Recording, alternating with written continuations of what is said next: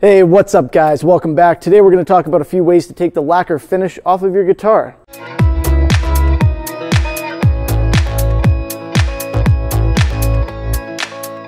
So here is the guitar that we're taking the paint off. This is all a spray can lacquer job.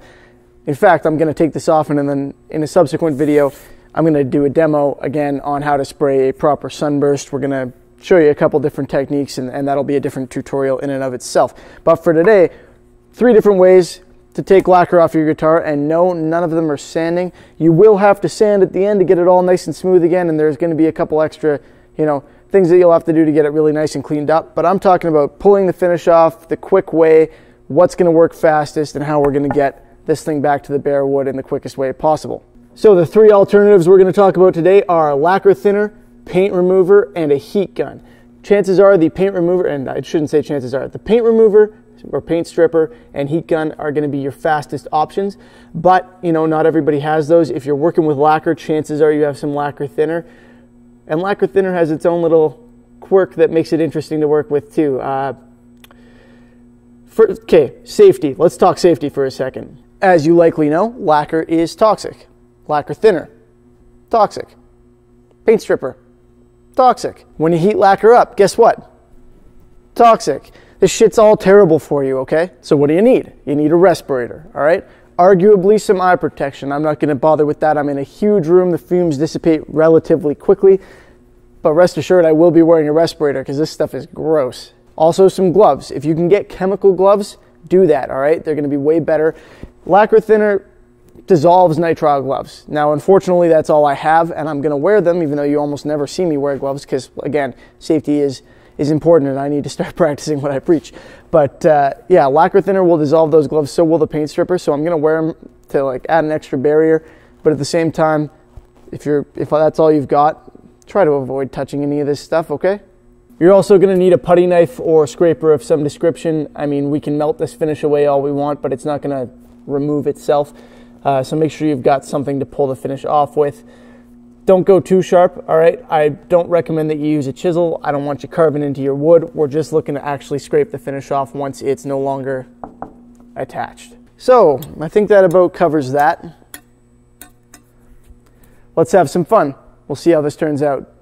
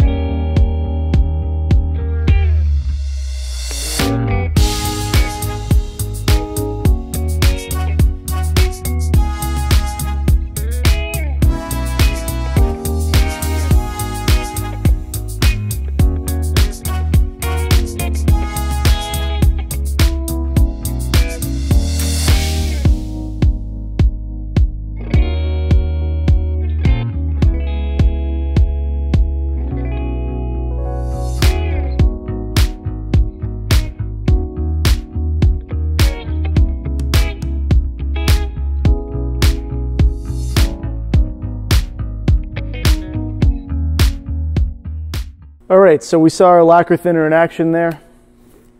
Worked pretty well. Lacquer thinner does obviously dissolve lacquer because lacquer never cures, it only dries. Then you saw me light it on fire. Don't be an idiot. Don't do that. I'm in a huge shop. It's just do as I say, not as I do. Don't light your stuff on fire. Be smart. But it was pretty cool. And check this out. Whoo hoo hoo. Yeah, that's pretty awesome, I think. Another thing to note if you're going to do that outside or something carefully under controlled conditions with eight of your closest firefighter friends handy, uh, note that you need to be careful where you put it. It will also mangle the back.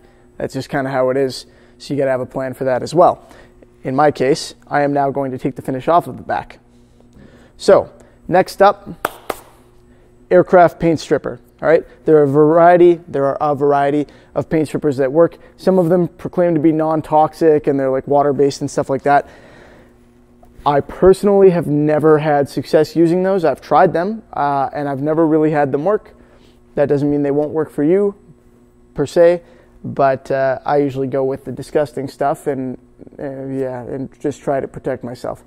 If you have cuts on your hands and this stuff touches them, it will feel like you're burning from the inside. Uh, so definitely avoid that. Again, protect your hands, protect your, your lungs, uh, and just generally try to be careful. All right, the secret with this stuff is you lay it on relatively thick. You want to layer at least three millimeters thick if possible, uh, and you let it sit. Okay, now you don't have to coat the whole surface in it. You can do just like a puddle, let that sit for a few minutes, and then use the scraper to push that over. It'll take all the paint with it, but it'll still dissolve in another area, and you can just move that puddle around until you've got basically all of it. So we're going to use that to take most of the paint and crap off of the back here. You'll see how well that works. And then we're going to take the heat gun and go at the sides and whatever's left, and you'll see how that works. Let's get the paint stripper over here and get this done.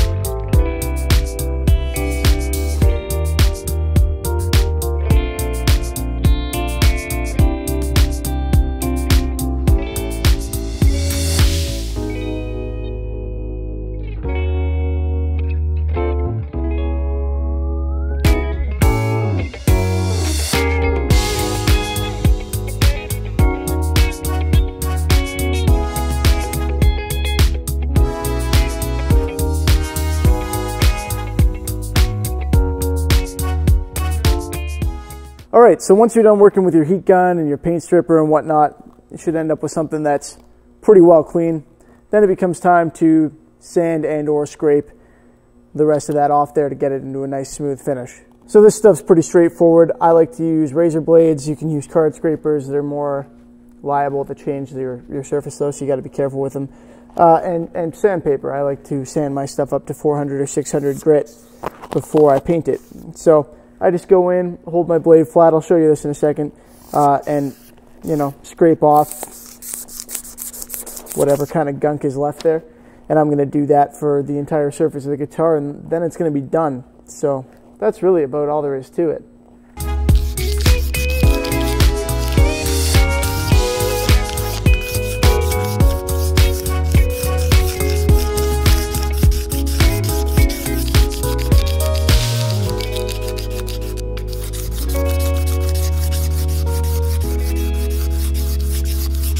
So guys, that's about it. I think you get the idea. You know, you use something to take the finish off of there, then you scrape or sand or whatever you need to do to get the wood nice and smooth again so it's prepped for another finish. Speaking of which, stick around, stay tuned. We're gonna put another finish on this fairly soon and it's gonna be, I think, pretty interesting. And that about covers it for today. So as always, thank you for watching. I hope you enjoyed the video and found it informative. Please find a reason to give it a thumbs up for me, I would appreciate that. And stick around, we got some interesting stuff coming up. Thanks for watching. Don't forget to subscribe if you haven't already, and I will see you next time. Have a good one.